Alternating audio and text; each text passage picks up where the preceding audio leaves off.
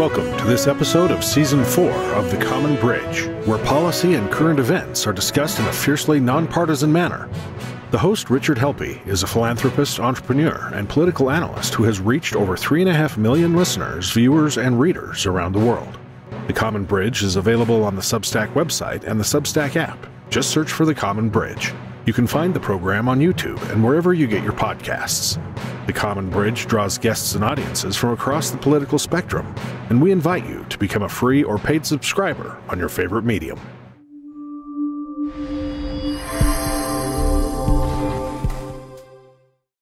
Hello, and welcome to the Common Bridge. And got a great story for you today. It's actually going to turn the tables a little bit and interview our producer, Brian Kruger, because among other accomplishments in his life. He's been a documentary filmmaker. Brian, welcome to the Common Bridge. And it's great to be here, Rich, and the tables have turned. Indeed, they have. We've got the camera actually turned on for you today. Um, but it looks an important topic today because February is Black History Month. Um, because much of the history was written without including the history of Black people. And the uh, the tradition for a Black history studies goes back uh, to the 1920s, and it was formed uh, in February to honor the birth of President Abraham Lincoln. Uh, of course, with his role in trying to promote equality among the races. In, in, the late 1960s, uh, what was then called Negro History Week had evolved into what is known as Black History Month.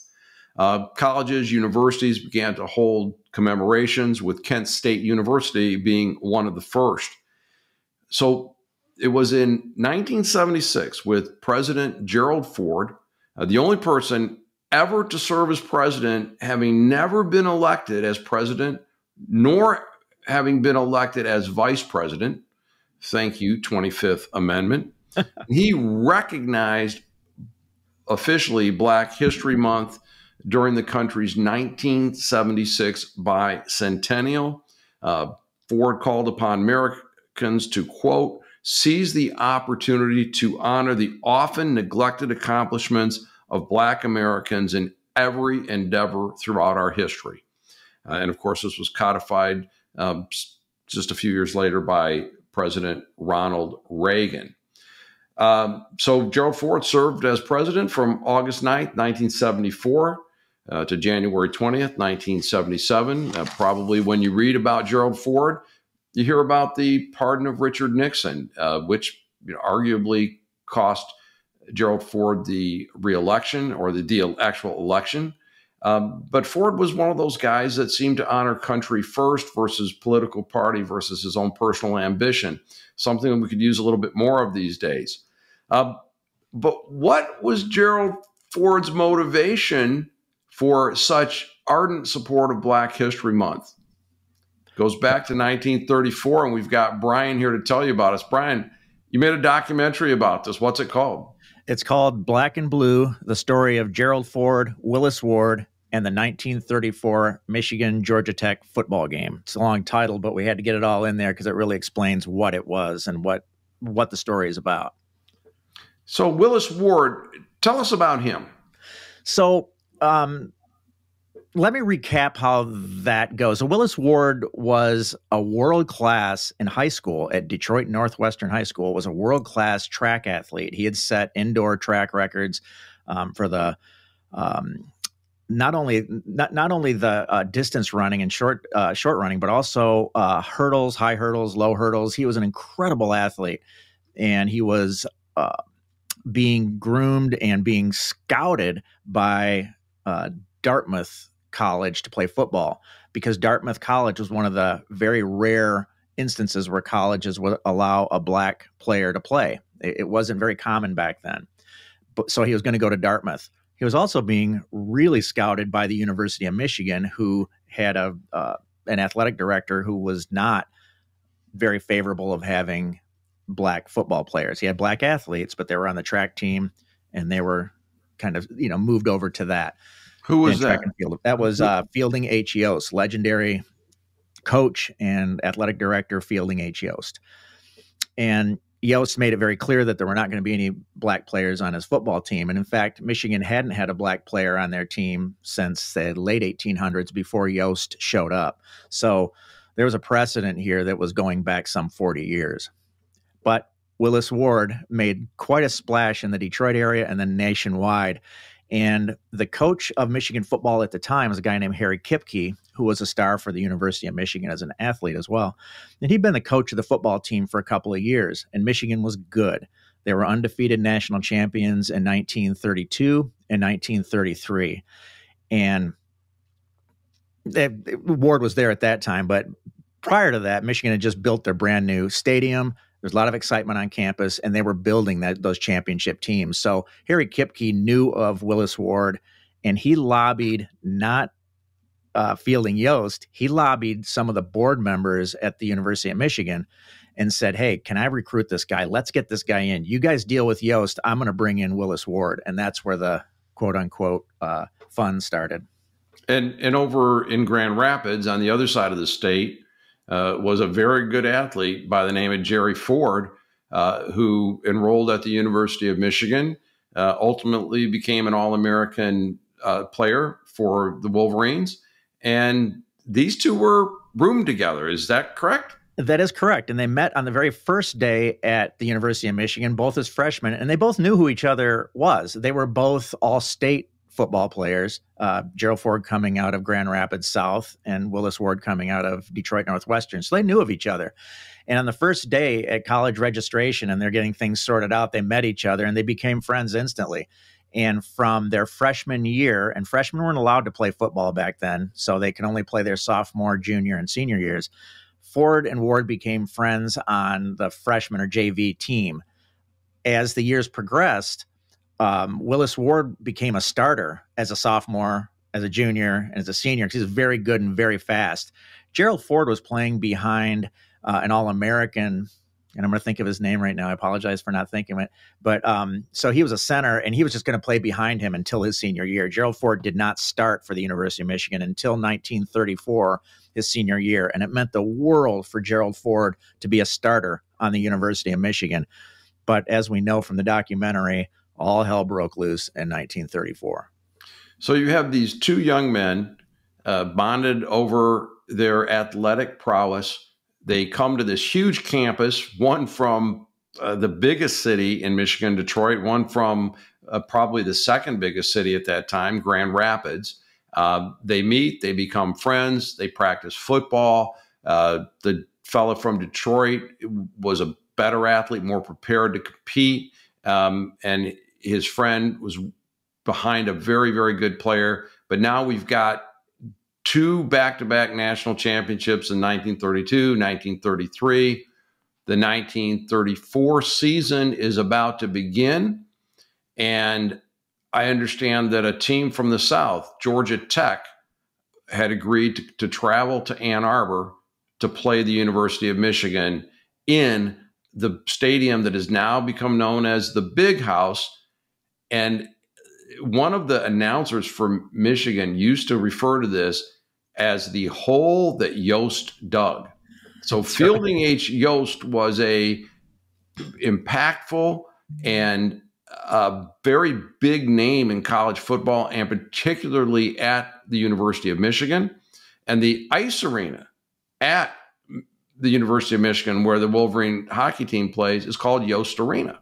That's correct. That so he, he looms large. Yeah, he loomed large nationwide. He was he was right up there with Alonzo Stagg and um, some of those guys from the early 20s. They, they and Knute Rockne was another one. Um, they really uh, painted the picture, set the rules. They really set forth what college football even is to this day. Um, Fielding Yost was a huge, huge influencer in college football. So everybody kind of looked to Yost for, hey, what do we do next? Um, so this becomes very interesting. In 1934, we're in the middle of the Depression, and Willis, or I'm sorry, and uh, Fielding Yost is looking to put people in the seats of that big stadium, the big hole, the big house, they call it. And he looked to the south because in Detroit, we had a lot of workers coming up from the south and they were in Michigan. And he figured, hey, I wonder if I bring in a team from the south that we can fill that stadium up even more uh, during these years. And it wasn't a bad idea. The problem, of course, was that teams from the South, south of the Mason Dixon line, they had uh, rules throughout the South that teams from the South would not take the field if there was a black player playing on the opposing team. And Fielding H. Yost knew this. And early in 1934, Fielding H. Yost was down to Georgia Tech. He had a connection uh, with uh, his brother in law who knew the athletic director, um, uh, Alexander, in, uh, at Georgia Tech. And they became friends. And he went down there. Yost went down to talk to the football team and say, Hey, you guys, you got a good program going here. And if you'd like, we'd like to have you come up to play in Michigan. And they loved that. Well, Alexander asked him at the time, "Say, I understand you have a black player up there. We're not going to play with uh, with a black player. You understand that?" And Yost said, "Oh yeah, no, I'll take care of that." But Yost wasn't talking to anybody about this in the spring of 1934. And then, come about May or June of 1934, telegrams started coming back up from Georgia Tech, going, "We can't wait to play in your new stadium. This is going to be amazing. It's going to be good for our program. We're going to play the national champions. Can't wait." Just a reminder, we don't play against black players, so uh, do I have your word that you're not going to play your only black player, Willis Ward? So, Brian, if I'm not mistaken, these Southern teams that would request, in fact, they'd require uh, their opponents not to have any black players, eh, but they would offer to bench players of, on their own team of similar capability or similar stature, correct? That is correct. And it wasn't so much an offer, that was part of the bargaining. So that both teams would sit down and go, okay, so if we're sitting down our guy, our African American player, let's see what kind of impact we can have on that on, on, on your team. And sometimes it got contentious, but generally they'd come up to an agreement. And sometimes it wasn't just one player; it was two or three, just to make it even.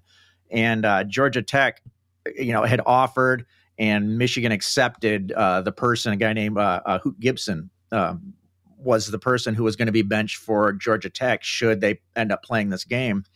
Uh, Hoot Gibson was quoted later in life in, in the in the 1960s and early 70s that he still hadn't forgiven the uh, Georgia Tech University for benching him for a black guy. Still had that racism in him all the way to the end of, of his days. But well, uh, you think about the roots of the racism too. Uh, I think it's important for people to understand what was Fielding Yost's family like, and particularly the close connection with the Confederacy. That's right. Uh, uh, Fielding Yost, of course, comes out of the South, West Virginia, and his father was a surgeon for General Lee uh, for the Confederate Army in the Civil War. So it's not like it, not not that this is acceptable at all, but as you said, it does kind of lay the groundwork for where uh, Fielding Yost is coming from. To him, it's much more of a, oh sure, yeah, we'll we'll bench our black guy, no problem, because that's just the way he was and it was an unspoken thing at the University of Michigan. Everybody just looked the other way. And plus, during the time of Jim Crow, it wasn't shocking that that was going on. Look, there were a lot of schools, not a lot. There, there were some schools in the north, in, in, the Big Ten. Ohio State was one. Um, I think Illinois, Minnesota might have been. They had a black player as well. But other than that, there weren't very many around for the exact same reason. So it gets to be one of those things. If you're judging the man today for what the feelings were back then, it's probably probably not quite a fair judgment. But, but and and similarly, it also gives rise to the connection between the philosophy of the Confederacy uh, and protests today or flying the Confederate flag and and such. That there is a direct link there, and it should enrage people. So now we're back to 1934, and as far as Fielding Yost is, is concerned, Georgia Tech's going to come up, bench their player Hoot Gibson. Michigan's going to keep Willis Ward out of the game, and everything's fine. But then a young man named Gerald Ford got wind of this. What happened? Well, we'll take it back to June of the in the in the summer. So what's happening is word starts to get out that this game's going to be played, and then reporters, national reporters uh, from the sports magazines in New York, from Time magazine, they start calling the University of Michigan, going, "Hey, looks like Georgia Tech's coming up to play you guys. We see a problem." and uh, and, and Yost's response to that was to have no response. He refused to answer, and he said, eh, "You know, I, I, I don't know if that's true or not. We'll have to see what happens." Well, Yost knew exactly what was going to happen with that. Georgia Tech knew from a telegram that we have in the documentary that he's all set. They're coming up. The, they're going. They're going to play Michigan. Michigan's going to bench their African American player. Well, when that summer in the summer it started leaking out, the football team started going. Wait a minute. So what's going to happen? And the buzz within the locker room was.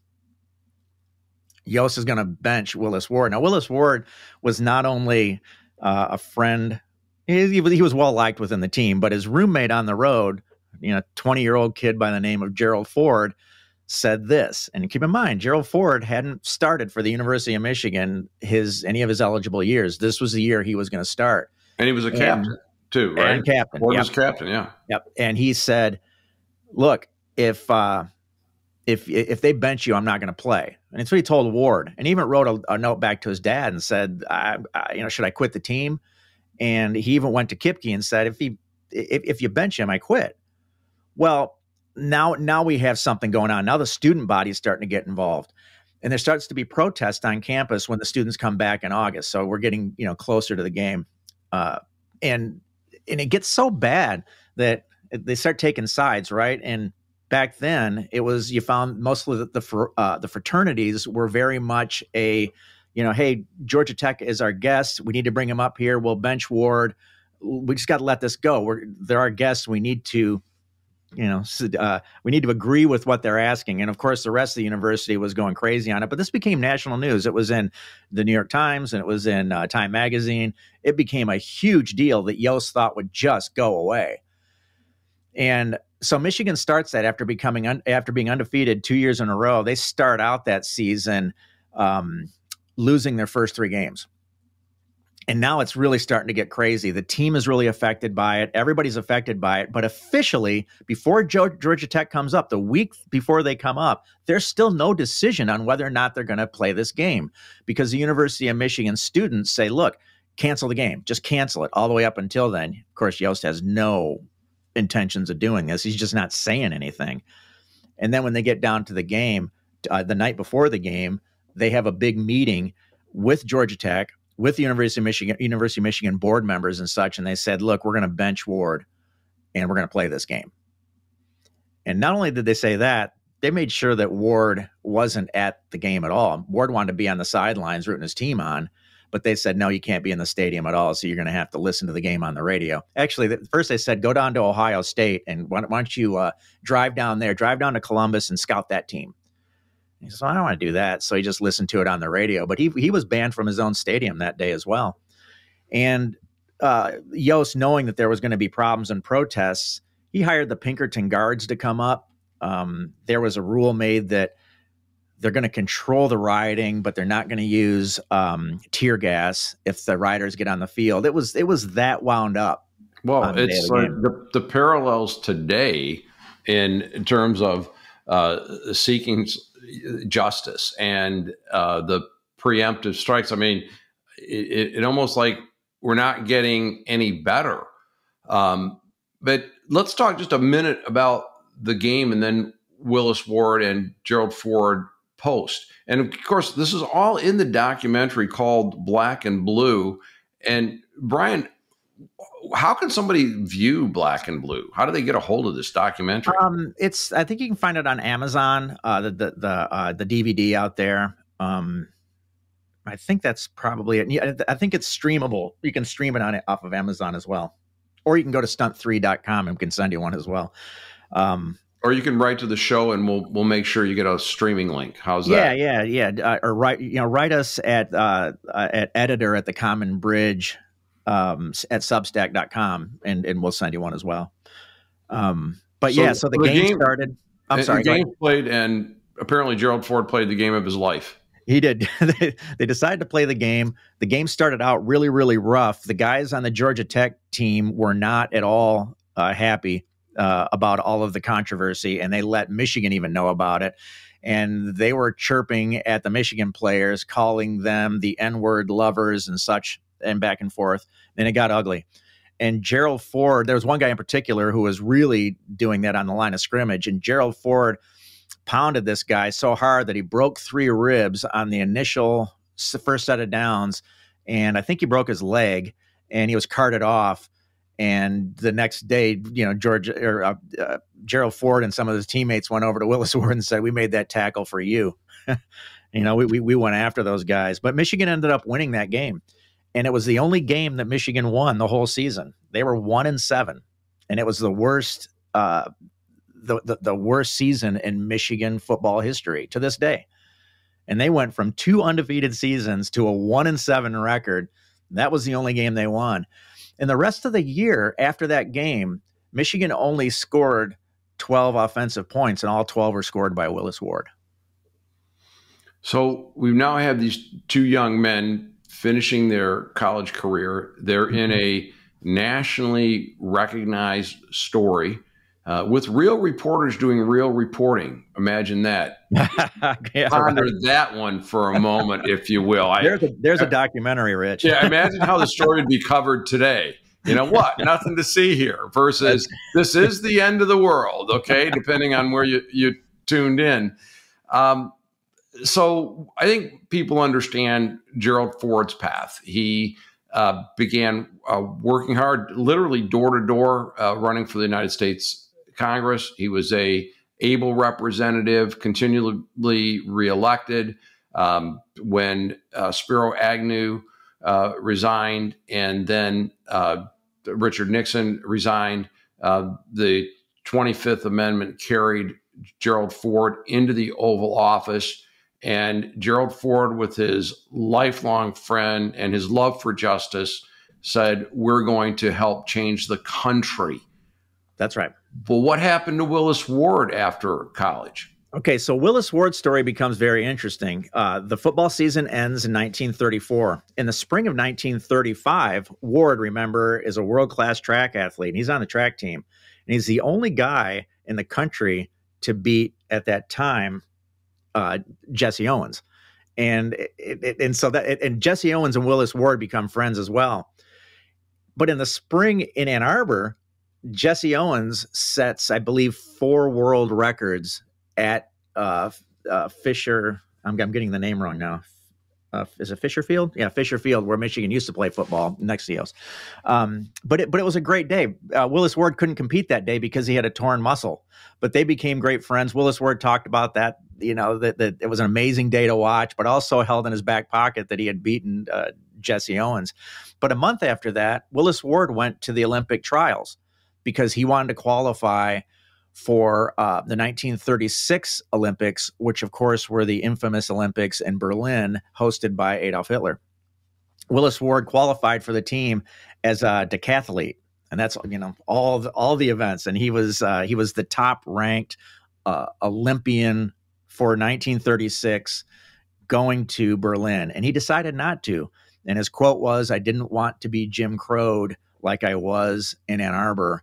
in Berlin by um, Adolf Hitler, and we all remember what Jesse Owens ended up doing at that at that Olympics. It's, so. a, a sad commentary on so many fronts. It, um, it is, but it shows you what a principled man Willis Ward was.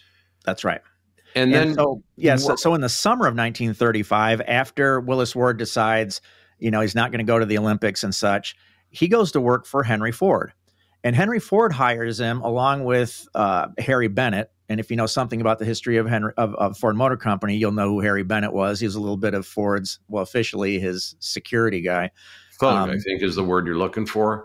we use that word anymore because that's what he was. He was a just a brutal guy. Yeah, he was a thug, but he also had a very close relationship with Harry Kipke uh, and gave uh, Kipke's football players during the summer he would hire them. Uh, uh, Harry Bennett would hire him to work for Ford Motor Company. But back then, it mostly meant that Kipke could uh, practice the University of Michigan football team behind the old administration building on Miller Road.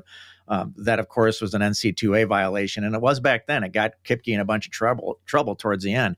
Anyway, but Ford goes to work for, or I'm sorry, Willis Ward goes to work for Henry Ford, and Henry Ford puts him at the Rouge plant because one of the big problems they're having at the, the, the Rouge factory was one of Henry Ford's doings, but it's I think it's an incredible thing to do back then, is he would hire African American workers to come up and work side by side on the line at the Rouge for the exact same pay as the white workers. And that was kind of unheard of at the time.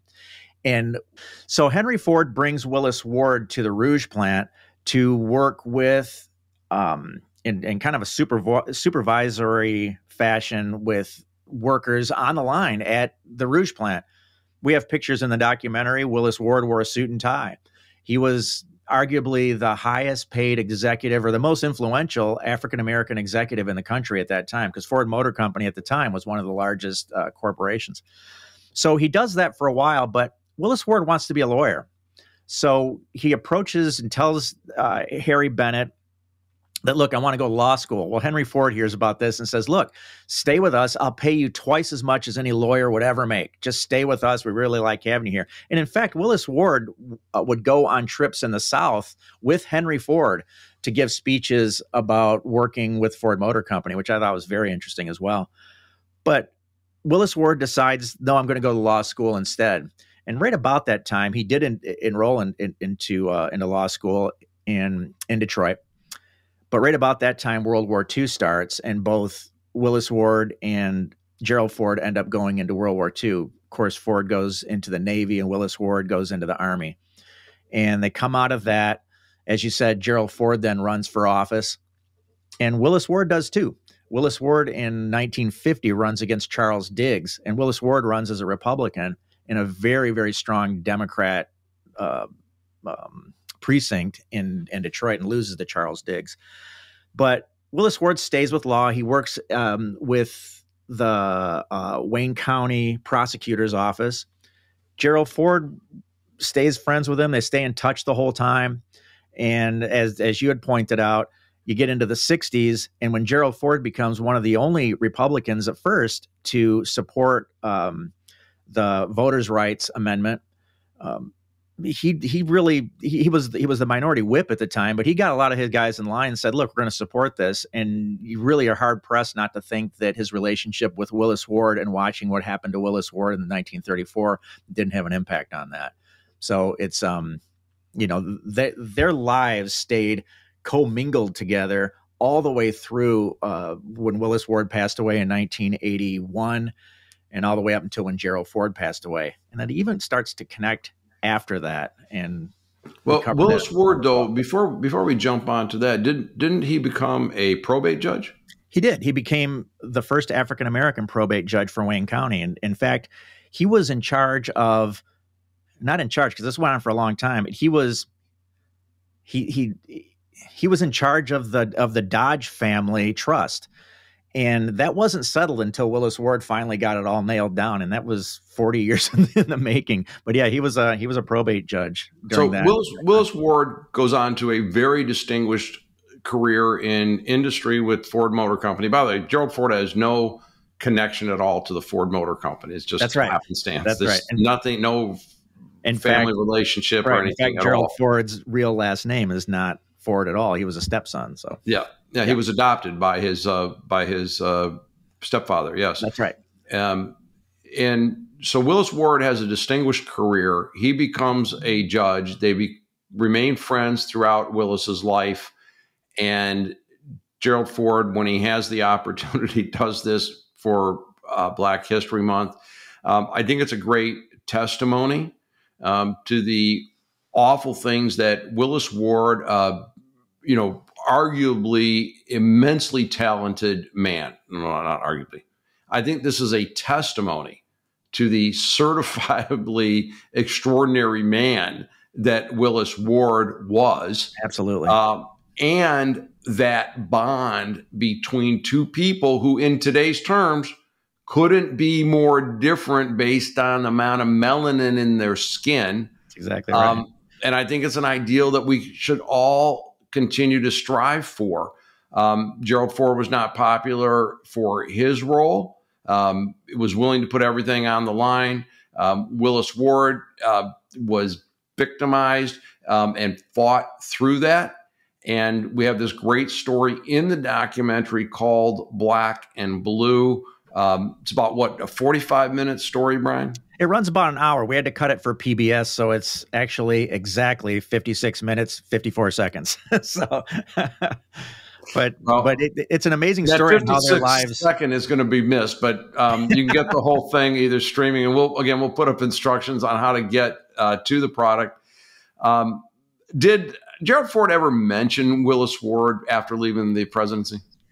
No, you know he did on um, uh, on the Larry King show, and, and we have a funny aside from that. Um, when we were making the documentary, we asked the same question, Rich. We said, "Is there anything out there where Gerald Ford talks about the Willis Ward uh, instance?" And on live TV, uh, we didn't know of any until Steve Ford, Gerald Ford's son, called and said, "Hey, I do remember one. It was he was we were on the Larry King show together. I was with him, and he brought it up, and you can get a clip of that." So I went to CNN and got the clip and it was going to cost us and we're documentary filmmakers so you know go with us on this it was going to cost us about $28000 to oh, license oh, that piece of film to which steve ford told me he said hey brian don't worry about that my dad and Larry King were great friends, so let me let me handle that.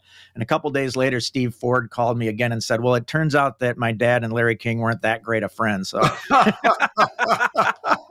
but but the Gerald Ford Foundation, he was a, he was a twenty seven thousand dollar friend. At twenty eight, no, no, no, you're not. Yeah, you're not but, that close. The Gerald Ford Foundation, of which I think Steve Ford was the president at the time, um, covered that cost for us for the film, which, which was great. But the other time that Gerald Ford spoke about that, spoke it, he wrote about that, was in the New York Times during the University of Michigan's Battle of Affirmative Action uh, back. Can't remember the year it was now, but he wrote an op-ed piece for the New York Times and said, "I think that the affirmative action law might be a good thing, and here's why." And he told the story of Willis Ward then, and those are the only two we can think of that that that really ever happened. Um, and then uh, President Bush mentioned it, and this is how we heard of the story. President Bush mentioned the Willis Ward story at Gerald Ford's funeral when he was eulogizing the former president.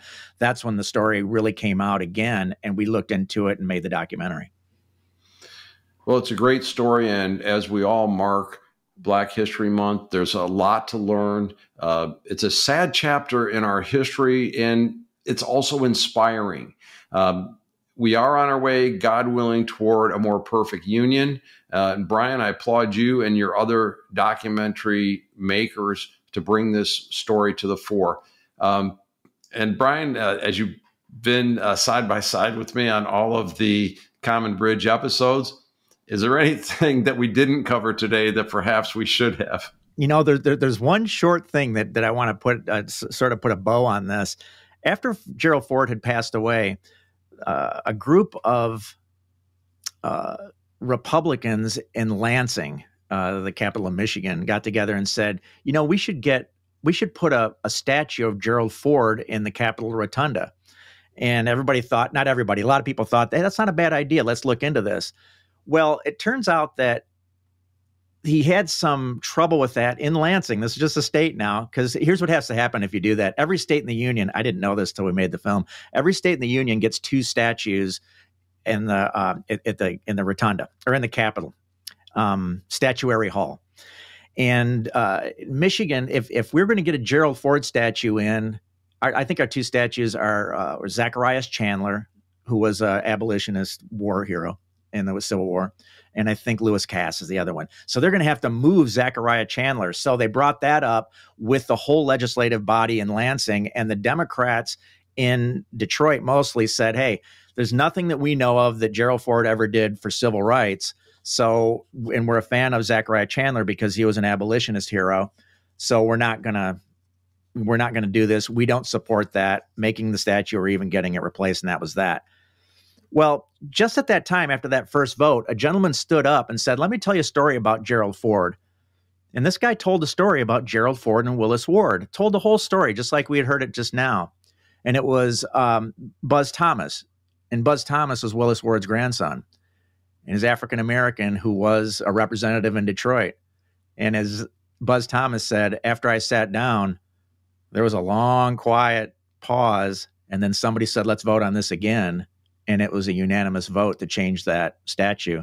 And to this day, there's a statue of Gerald Ford, not in Statuary Hall, but in the rotunda.